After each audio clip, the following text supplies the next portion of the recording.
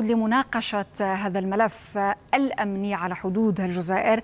إذا في مسألة مالي تحديدا ولكن قبل ذلك أرحب بضيوفنا مرة أخرى من العاصمة الجزائرية. الباحث في الشؤون الاستراتيجية والأمنية الدكتور رشيد علوش وكذلك من الجزائر العاصمة أستاذ العلوم السياسية والعلاقات الدولية الدكتور توفيق بوقعدة ومن الجزائر العاصمة القيادي في حزب صوت الشعب إسماعيل وزري. أهلا بكم جميعا وأذكر كذلك ضيوفنا الكرام بالسؤال الذي طرح على متابعي قناة الحدث على منصات التواصل الاجتماعي. طرحنا اذا سؤالا على متابعي الحدث هل تتفقون مع المساعي الدبلوماسية الجزائرية لاحتواء التهديدات والمخاطر الأمنية المتصاعدة في دول الجوار؟ اذا أكثر من 58.5% يقولون نعم. اذا يؤيدون هذه المساعي الجزائرية في مسألة السياسة الخارجية والتعامل مع أزمات دول الجوار.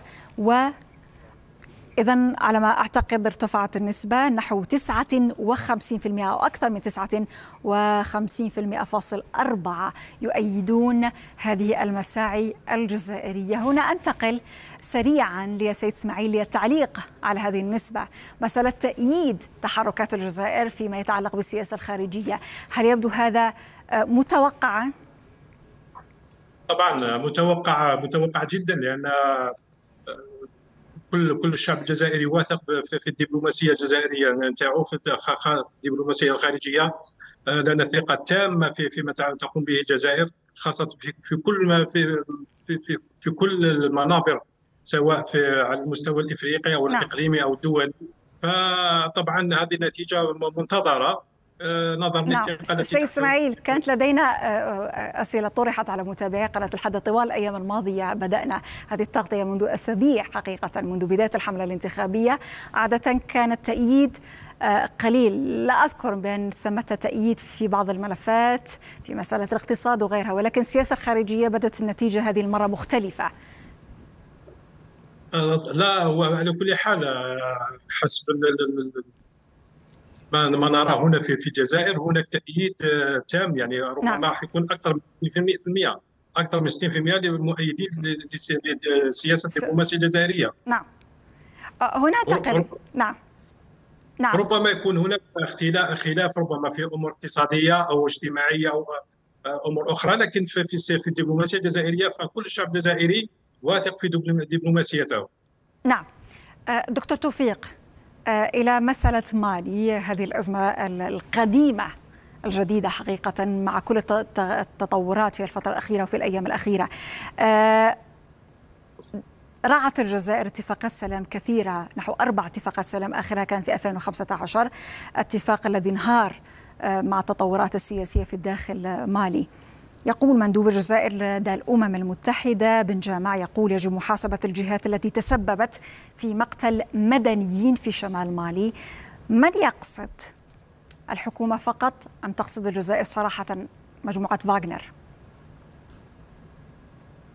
الطرف المعني الأول بهذه المساءلة الدولية هي دولة مالي التي استعانت بهؤلاء المرتزقة من أجل ارتكاب جرائم ضد الإنسانية ضد أطفال آه، آه، عزل أطفال ومدنيين عزل في آه، منطقة تيزواتين. أكيد أن الجزائر كذلك لديها موقف حاسم وقد عبر عنه سيد بن جامع موقف حاسم من أي مجموعات جيش جيوش خاصة كما سماها مرتزقة التي تعيد تعيد في الأمن في هذه الدول فسادا وأنها من بين الأسباب التي أدت إلى تدهور الوضع الأمني وكذلك الاتفاقات السياسية سواء في آه، مالي أو في آه، نعم. في ليبيا أو حتى في النيجر هي هذه المجموعات التي أصبحت تستقوى بها حكومات الانقلابية ضد شعوبها وبالتالي فالجزائر من خلال نعم دكتور توفيق هذا يطرح تساؤل لنكون أو لنتحدث بصراحة علاقة روسيا والجزائر علاقة صداقة أو علاقة تحالف وثيق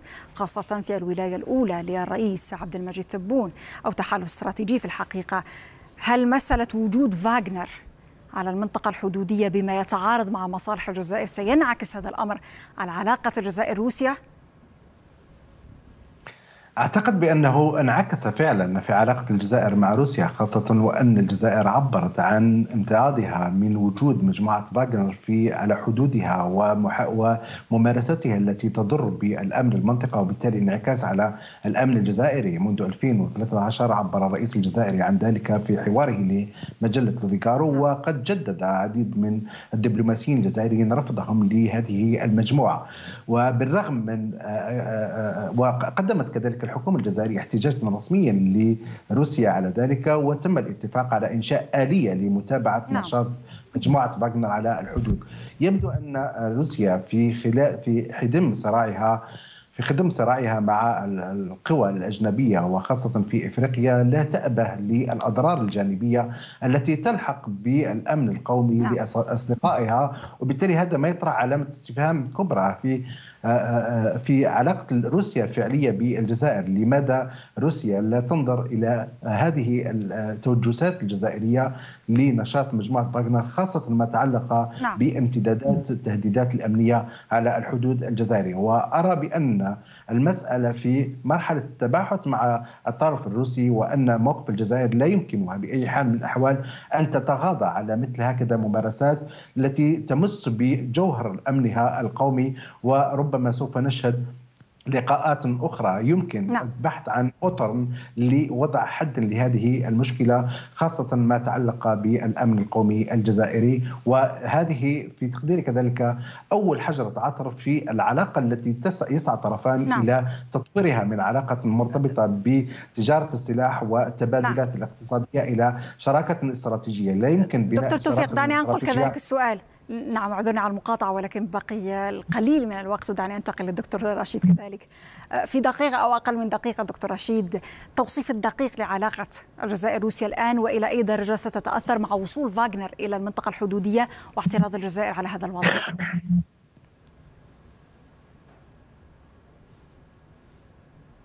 في الأمم المتحدة بالجيوش الخاصة بغض النظر عن تسميتها بمرتزقة وأراد القول على انه ما يجري في مالي أو العمليات التي تستهدف المدنيين في مالي هي تقوم صحيح من خلال الجيش المالي ولكن بدعم من طرف دول. من هي هذه الدول؟ لم يسميها بالاسم هي مجموعة من الجيوش الخاصة. بالنسبة للعلاقات ربما الروسية الجزائرية لا يمكن أبدا أن نعيد ربما بناء علاقات الجزائرية الروسية بناء على هذا المحدد لأنها علاقات استراتيجية معمقة وسيتم مستقبلا إن كان لفاغنر تأثير على الأمن القومي الجزائري في الحدود آه، في منطقة الساحل الإفريقي فإنه سيتم التعامل مع هذا المشكل بكل ليونة والاستجابة لمجمل نعم. ربما آه، الإشكاليات التي تطرحها الجزائر على الجانب الروسي نعم وزير الخارجية الجزائري أحمد عطاف كان قال أن الجزائر فتحت ملف فاغنر ووجودها أو تواجدها على الحدود الجنوبية سؤال كذلك أخي لسيد إسماعيل في مسألة العلاقة مع روسيا وجود فاغنر على المنطقة الحدودية هذا يزعج الجزائر ويهدد مصالحها كما تقول الجزائر آه هل ستتغير العلاقة مع روسيا؟ هل تتوقع تغير في العلاقة مع كل هذه التطورات الأمنية؟ الجزائر وروسيا لها أكثر من 60 سنة من الوجود علاقة علاقة استراتيجية آه، خاصة بعد زيارة آه، الرئيس عبد المجيد تبون إلى روسيا وتعمقت العلاقات أكثر فأكثر لكن هذا لا هذا لا يعني أن تقع بعض الأحيان سوء تفاهم أو سوء فهم أو خلافات في بعض تضارب بعض المصالح. لكن هذا لا يفسد للود قضية. وبالتالي نعم. أنا أظن هذه القضية ستحل حل عن قريب إن شاء الله. آه، باتفاق بين الجزائر وروسيا وإيجاد حل لمعضلة تواجد فاغنر في دول الساحل الإفريقي. نعم إذا شكرا جزيلا لكم جميعا. كنا في متابعة للمشهد الانتخابي الجزائري وكذلك في نقاش الملف الأمني الجزائري من الجزائر العاصمة. كنت معنا القيادي في حزب صوت الشعب إسماعيل وزري ومن العاصمة الجزائرية أيضا البحث في الشؤون الاستراتيجية والأمنية الدكتور رشيد علوش. شكرا. ومن الجزائر العاصمة أستاذ العلوم السياسية والعلاقات الدولية الدكتور توفيق بوغادة. شكرا. إذا مشاهدينا نذكر بأننا طرحنا سؤالا على متابعي قناة الحدث على منصات التواصل الاجتماعي إكس تحديدا. هذا السؤال التفاعلي هل تتفقون مع المساعي الدبلوماسية الجزائرية لاحتواء التهديدات والمخاطر الأمنية المتصاعدة في دول الجوار؟ إذا 59 59.4% يؤيدون أو يتفقون مع هذه المساعي الدولية 59.4% و40.6% لا يتفقون مع هذه المساعي الدبلوماسية الجزائرية لاحتواء التهديدات في دول الجوار. إذا أذكر فقط بهذه النسبة نحو 59% أو أكثر من 59.4% يؤيدون أو يتفقون مع المساعي الدبلوماسية الجزائرية لاحتواء التهديدات والمخاطر الأمنية.